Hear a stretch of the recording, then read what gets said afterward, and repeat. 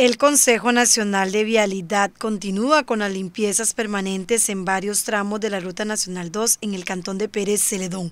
además de los trabajos en el kilómetro 105, limpiando activos en el tramo entre la S y San Isidro el General y el ubicado entre las juntas de Pacuar y Río Convento.